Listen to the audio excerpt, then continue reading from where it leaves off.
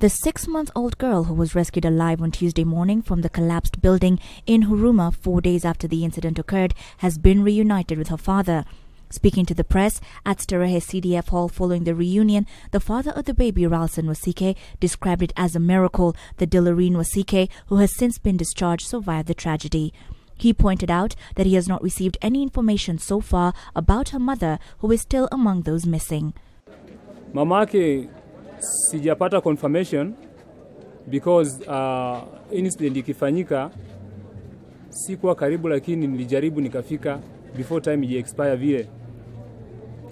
Kwa saizi bado hatujapata information full, but kama kuna yeyote ambaye maybe anaweza tusaidia ku identify vitu kama hizo, especially kama saizi nishaacha my details somewhere, wakipata information aniambia ni picha ndio singekuwa sikuwa nayo, lakini ingekuwa nayo saa hizi everything ilipotelea kwa nyumba.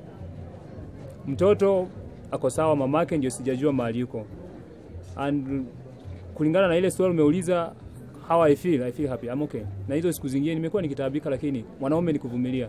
There is no way you can do kama hujavumilia. Hakuna venye unaweza succeed kama hujavumilia.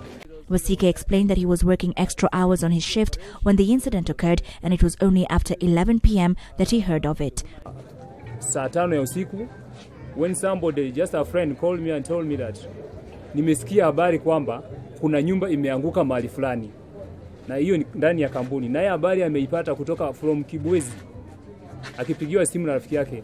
This when I, I, I started taking some, some steps kujua ya kwamba ni wapi ambapo ile kitu imefanyika, na nikachukua simu nikapigia bibi yangu nikimpigia alikuwa mteja, nikapiga mara pili akawa mteja, nikapiga mara tatu akawa mteja. There was, uh, there was when my heart ilikataa kufanya kazi, na nikawaambia wahusika wenye walikuwa pale, I'm just going. Hawakujua naenda wapi, naenda kufanya nini, lakini waambia mi naenda. Wakiniuliza kwa nini unaenda saa hizi saa tano ya usiku na unaenda wapi, nawaambia let me go. Nikishafika mahali naenda, I'll call and tell you what, uh, sababu gani mimi naenda.